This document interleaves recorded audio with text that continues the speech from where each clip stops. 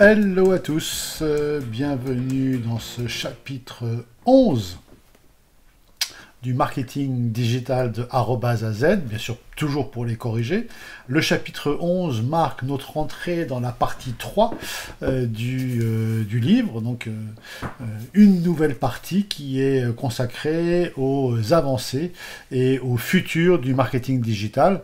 Un petit tour euh, du côté du euh, site web, euh, toujours marketingdigitalaz.com, où vous avez sur le site un glossaire à télécharger d'une centaine de pages sur les termes du digital, les corrigés que nous sommes en train de faire ici, mais sous forme d'une playlist sur YouTube, les slides du livre qui comprend toutes les photos, toutes les images du livre dans un seul PowerPoint que vous pouvez réutilisé euh, sous forme de présentation, une taxinomie euh, qu'on a déjà abordée ensemble sur Whimsical, les vidéos live, une cinquantaine d'interviews de spécialistes pour préparer ce livre, et puis euh, le sommaire du livre et quelques chapitres à télécharger.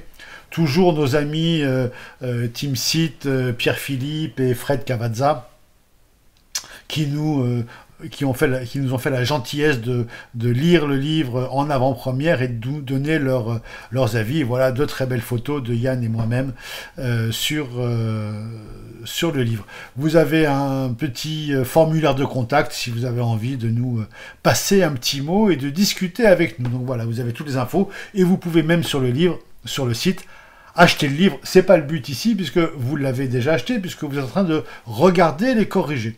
Donc, euh, très belle couverture, magnifique. On passe maintenant, je vous l'ai dit, au, à la partie 3, se préparer pour le marketing digital de demain.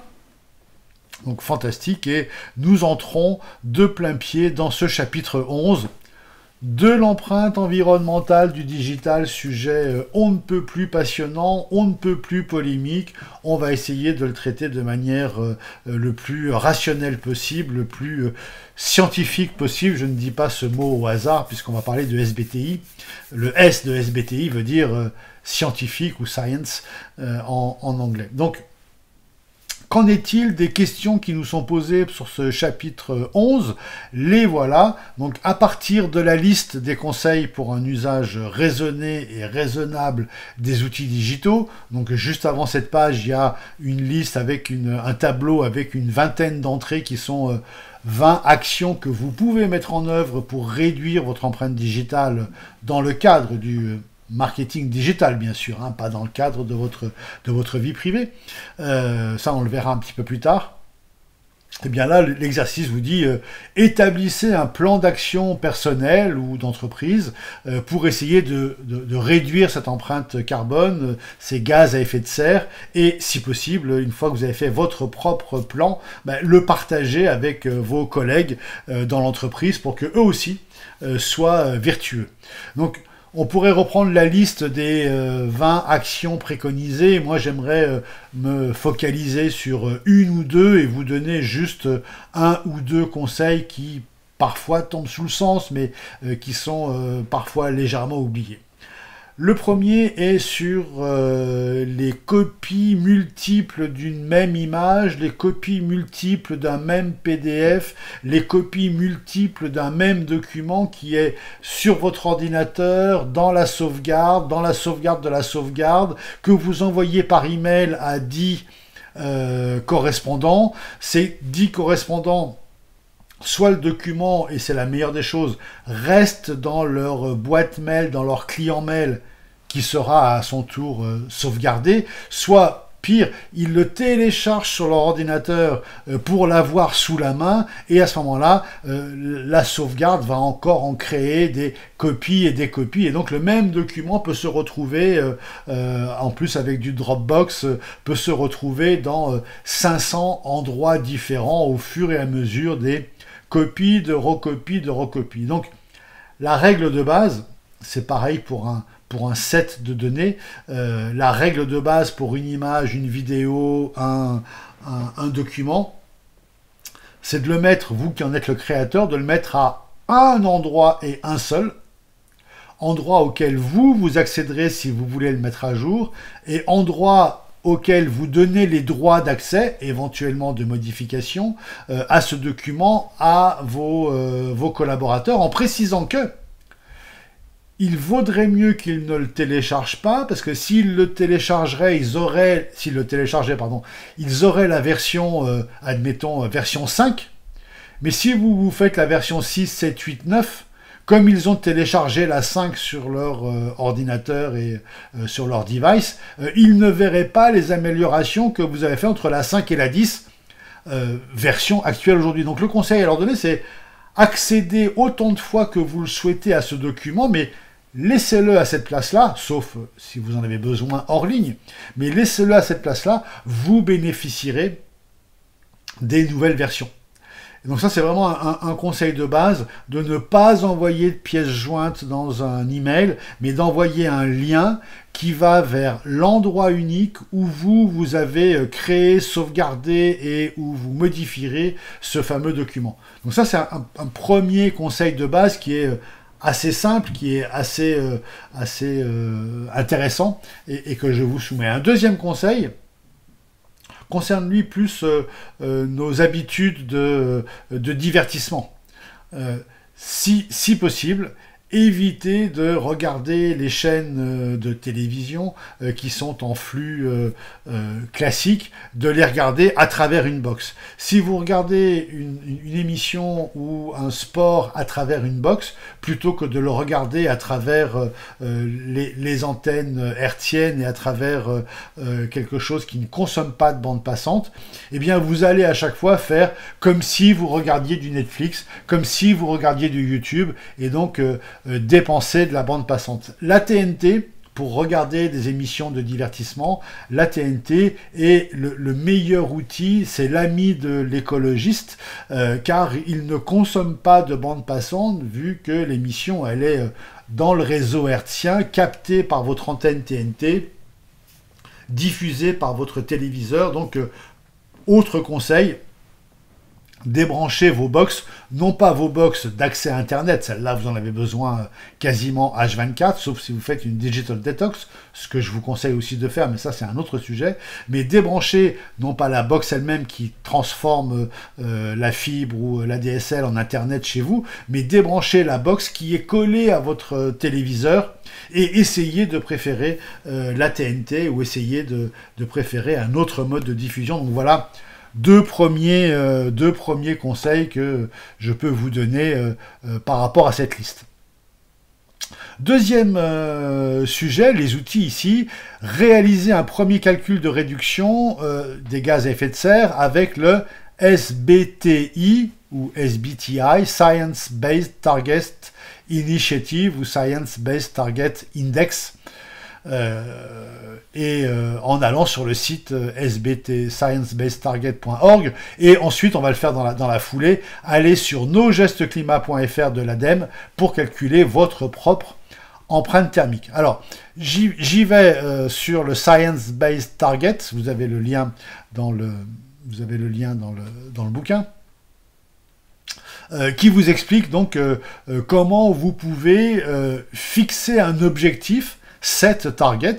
Vous pouvez lire toute une euh, presse et publication par rapport à l'écologie. Euh, qu'est-ce qu'un science-based target? Donc ça c'est extrêmement intéressant à comprendre. Comment est-ce que les entreprises peuvent se servir de tout ça? Donc euh, vous, vous calculez votre, votre objectif, vous développez un plan pour l'atteindre, vous soumettez ce plan-là à SBTI qui le valide et ensuite, vous pouvez vous prévaloir euh, de, ce, de, ce, de, cette, euh, euh, de cette soumission à SBTI pour dire voilà, j'ai proposé un objectif, j'ai proposé un plan, voilà l'avancée du plan, et, donc je peux mettre ça en avant. C'est pas du greenwashing, c'est un véritable, un véritable indice que l'on peut euh, suivre tous autant que nous sommes. Bon, une euh, fac qui est très bien faite et puis euh, des documents sur donc Science Based Target où vous avez toutes les procédures pour vous approcher du zéro, du net zéro target. attention à ne pas confondre ce qui est net zéro et ce qui est compensé. préférez toujours le net zéro à la compensation parce que la compensation offre toujours un certain nombre de, de dérivatifs dangereux. Donc ça c'est pour le site SBTI et pour le site de l'ADEME, euh, nosgestesclimat.fr.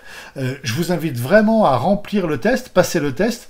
Donc euh, une, série de questions, une dizaine de questions sur vos habitudes de, de, mobilité, vos habitudes de consommation alimentaire, vos habitudes de vacances, l'usage des transports en commun, en voiture, en moto, en vélo, vélo électrique, vélo musculaire, euh, toutes ces choses-là sont, euh, toutes ces questions sont posées, tous ces points de vue sont évoqués, et à la fin, alors à la fin, il y a une mauvaise surprise, je vous le dis tout de suite, euh, une fois que vous avez calculé tout ça, on vous dit, bon, bah, le fait d'être français vous ajoute 1,6 tonnes. Ben oui, il faut bien payer les routes, les hôpitaux, les écoles, euh, tout, le, toute l'électricité municipale, gouvernementale. Il faut bien payer tout ça. Et donc, ben, nous le payons tous, divisé par 60 millions de personnes. Eh bien, ça fait 1,6 tonnes. Donc, on part. Bon là, heureusement, le test vous le dit qu'à la fin, donc c'est pas démoralisant, ce n'est démoralisant qu'à la fin. Ben là, du coup, comme je vous annonce la mauvaise nouvelle, ce ne sera plus une mauvaise nouvelle, mais entre le 1,6 tonnes qui nous échoit à nous tous euh, français. Il faudrait calculer, euh, euh, ce serait intéressant de le calculer pour un Européen, pour un Allemand, pour un Anglais, pour, pour différentes, différentes communautés, différentes nations. Eh bien, je vous donne mon score euh, euh, compte tenu de ce 1,6. Eh bien, euh, moi, j'arrive à un total de 2,9 tonnes de CO2 par an. Donc, le 1,6 qui m'est donné par offert, si je puis dire, le fardeau que je porte de, la France, logique, on porte tous le même. Et, et on ajoute à ce 1,6, eh bien, mes 1,3 tonnes que je dépense personnellement par mon alimentation, mes déplacements, ma consommation énergétique, ma consommation des réseaux, ma consommation des différents euh, devices que je peux euh, avoir, euh, mes habitudes de revente, d'obsolescence, différents objets, etc., etc. Donc voilà, tout ça me donne pour moi 1,9 tonnes. La moyenne française, je crois, est aux alentours de 4 tonnes. Donc je fais un peu mieux que le français moyen, mais néanmoins j'ai des points d'amélioration à faire. Revenons à notre, euh, maintenant qu'on a fait ces deux, outils, revenons à la mise en pratique ici. Je vais vous l'agrandir un petit peu, voilà. Euh, peut-être même que je peux vous l'agrandir encore plus. Je fais le test, mais oui, ça marche très très bien. J'aurais dû le faire depuis le début, mais on, progresse, on progresse en marchant. Et donc le cas est le suivant.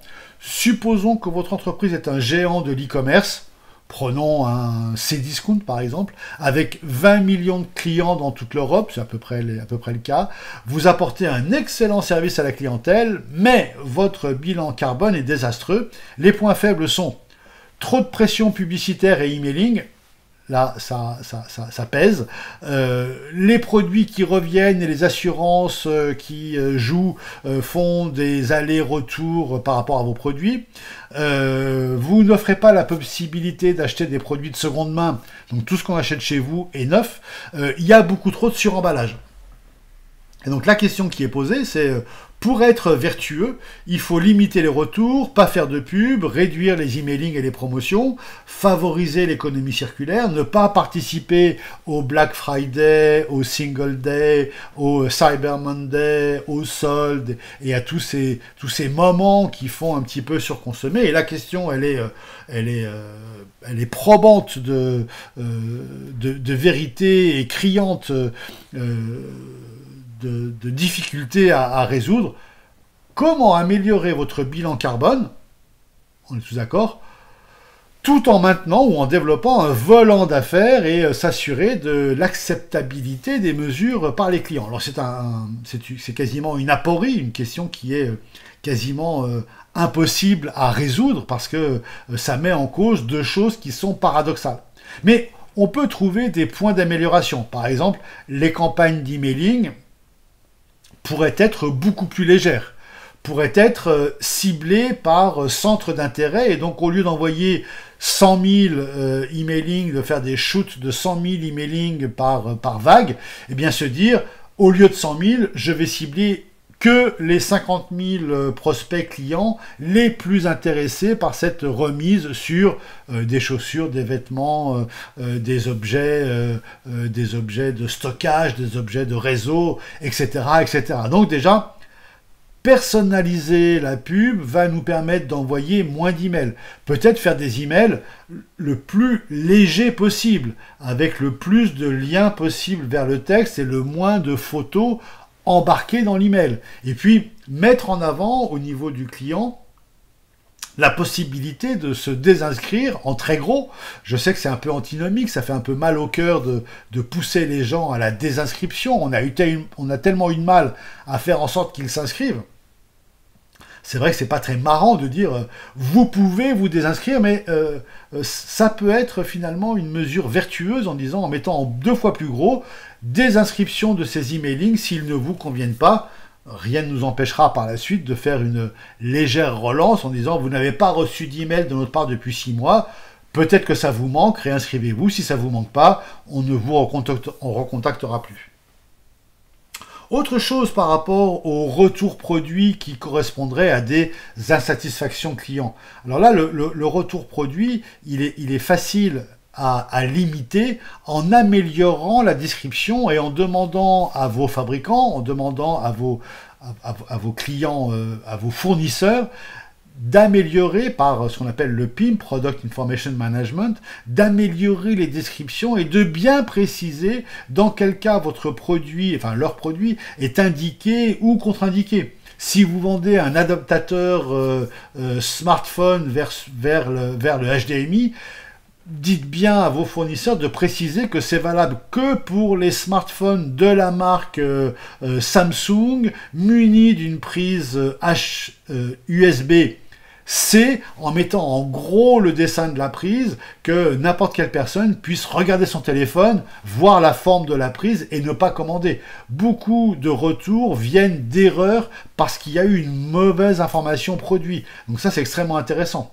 plutôt que de faire des retours, une autre mesure qui est pratiquée assez souvent quand le produit a une valeur assez faible, c'est de dire au client on vous rembourse, mais le coût de gestion de votre retour et le coût carbone de votre retour est tel que on préfère que vous donniez le produit à quelqu'un ou que vous le mettiez vous-même en, déchetterie ou que vous le détruisiez ou que vous le gardiez à titre gracieux euh, plutôt que de nous le renvoyer. Donc ça, c'est aussi une mesure. Encore une fois, hein, c'est pas très, euh, euh, c'est pas très, c'est un peu un sacrifice qu'on demande là, mais ça peut être intéressant en termes de bilan carbone.